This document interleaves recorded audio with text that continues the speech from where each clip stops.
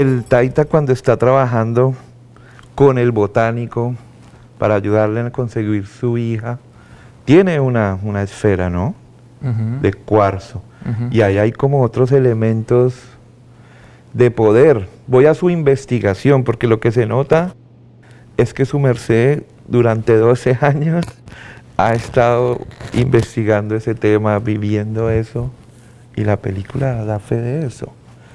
¿Cómo es un poco esa investigación y esos objetos sagrados, cómo se permitieron meter a la película?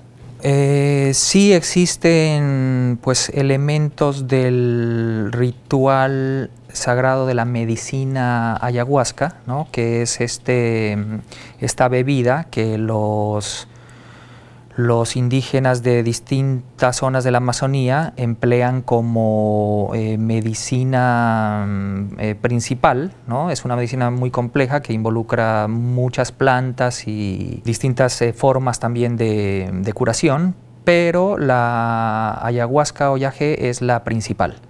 Entonces, en torno a eso hay unos elementos ritualísticos que mm, están presentes en la película.